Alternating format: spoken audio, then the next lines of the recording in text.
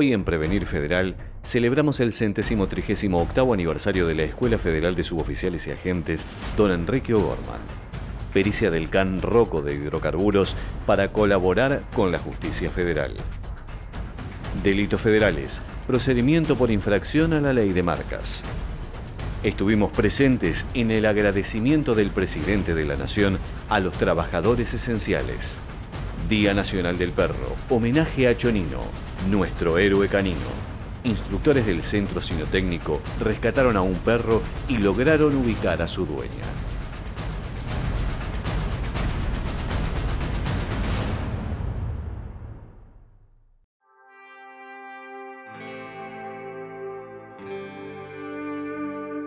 Estamos en la Escuela de Suboficiales y Agentes conmemorando el 138 aniversario de su creación.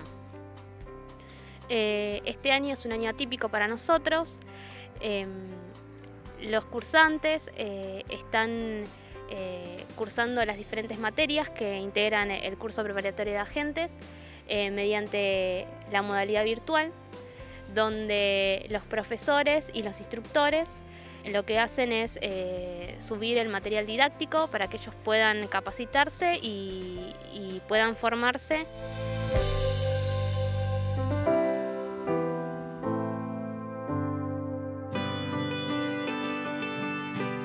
Actualmente hay 703 aspirantes que están distribuidos en 15 aulas por la mañana y 15 aulas por la tarde. Si ellos estuviesen acá de manera presencial. Eh, empezamos a trabajar de manera virtual a través de la plataforma Classroom. En esta plataforma eh, los aspirantes pueden visualizar y tener todo el material eh, tanto de aula como de campo y lo que ellos pueden hacer es eh, hacerle consultas a los profesores, evacuar las dudas que tengan, poder leer el material que se le otorga y asimismo también lo que ellos tienen es la cartilla de, aula, que es toda la parte teórica, que eso siempre se le otorgó y siempre lo tuvieron. El tema es que ahora al tenerlo de manera virtual, al no estar acá en la escuela, nos manejamos a través de esta plataforma. Le damos también clase a través de eh, vía Skype cuestión de que el profesor tenga una llegada o una, transmisión de conocimientos no tan eh, alejada, sino un poco más acercado para que ellos tengan mejor relación entre el docente y el alumno.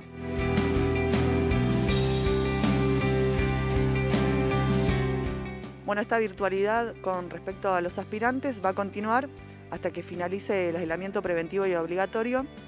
La idea nuestra como instructores y como profesores es que ellos estén acá, tenerlos acá en la escuela, porque si bien toda la parte teórica a través de, una, computadora se puede aprender, la parte práctica, el, hacer policial, es mucho más importante. Nos ayuda a nosotros a que ellos se puedan sentir parte de la Policía Federal. Nosotros como, integrantes de este, este instituto, eh, lo que queremos es eh, poder eh, formar, capacitar e instruir a, aquel personal que quiere integrar eh, las filas policiales como suboficiales y agentes de esta institución.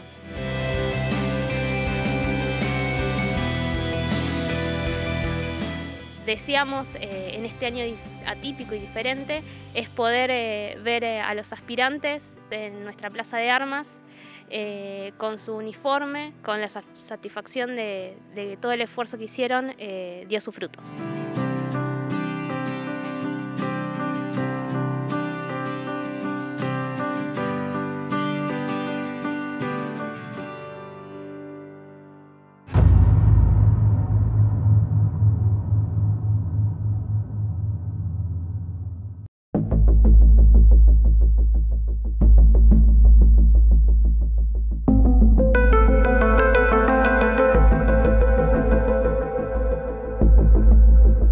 Continuando la institución, a pesar del flagelo que hoy día está sufriendo la sociedad y en realidad todo el país, continuamos con las tareas tendientes a desarticular aquellas organizaciones que aprovechando este momento tan especial eh, trafican con eh, material en infracción a la ley de marcas o bien elementos de contrabando.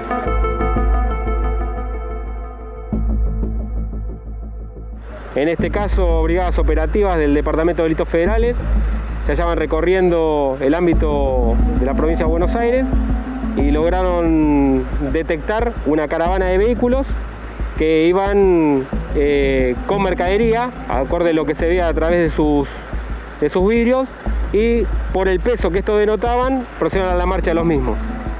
Al momento de solicitar la documentación del material, carecía del mismo y al serle pedido que exhiban se denotó a simple vista la existencia de marcas que están, son de carácter internacional en el mercado de zapatillas, ropa, perfumes, eh, pantalones, buzos y todo tipo de indumentaria eh, deportiva. Fueron cuatro los vehículos detenidos y ocho las personas que están afectadas este, a la causa por infracción a la ley de marcas eh, y propiedad intelectual con intervención del Juzgado Federal número 2 de Morón. Para que se den una idea, aproximadamente cada vehículo transporta entre 80 y 120 bultos y la suma es millonaria, superando claramente los 3 o 4 millones de pesos.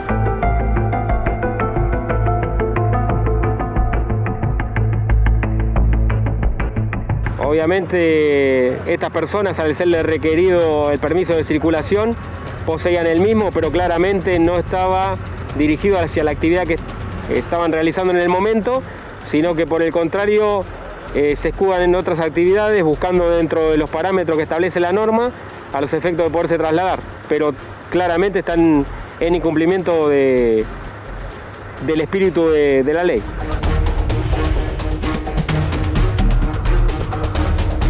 Todos nosotros hacemos un gran esfuerzo para brindar a nuestras familias, a nuestros hijos, a nuestros seres queridos, eh, elementos que sean de abrigo, que sean de calidad y que cumplan con la normativa legal.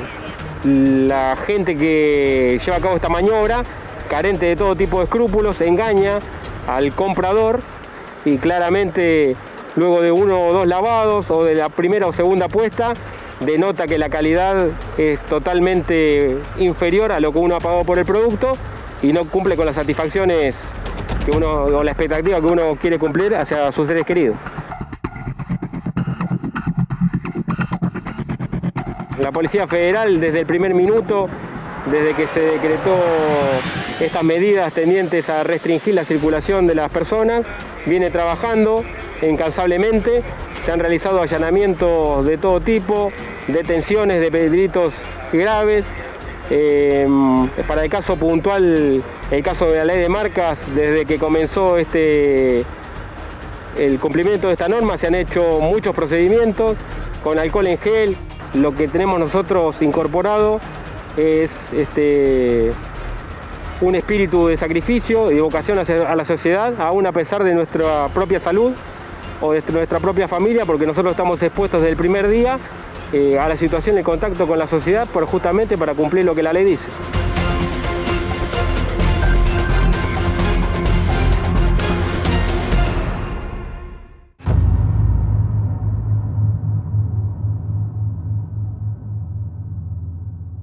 Vieja soledad,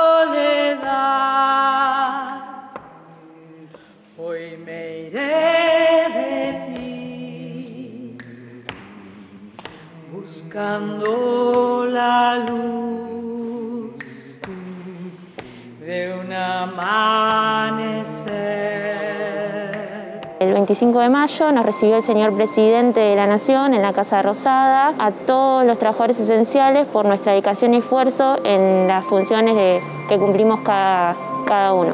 Las palabras del señor presidente de la Nación eh, fue agradecimiento para, en general, a todos los trabajadores esenciales y pasó eh, a saludarnos eh, uno por uno. Queremos eh, agradecerles por estar por ser, por poner el cuerpo, por, por, por todo eso tan imprescindible que es, hace la vida de todos los argentinos en esta fecha patria. Muchas gracias. Se encontraban en el lugar eh, los trabajadores esenciales, personal de la Fuerza Aérea, personal de las Fuerzas Armadas, del Ejército Argentino, eh, una bióloga, una maestra, eh, personal de la Cruz Roja, recolector de residuos y un cajero de supermercado.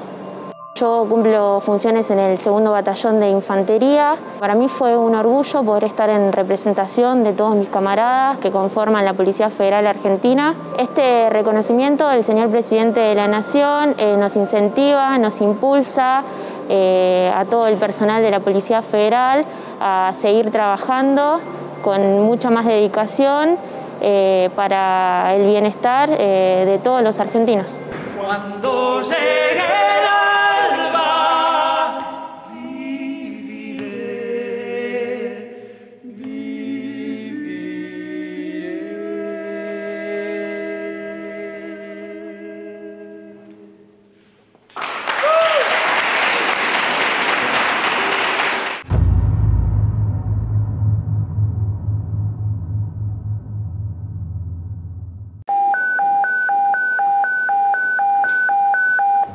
la Dirección General de Operaciones y Radio Aparte, el Comando Institucional con motivo del fatídico hecho del día de ayer, en el cual perdieron la vida dos oficiales del Cuerpo de Bomberos de la Ciudad de Buenos Aires, hace llegar sus condolencias a sus familiares, al Cuerpo de Bomberos, a sus camaradas y amigos.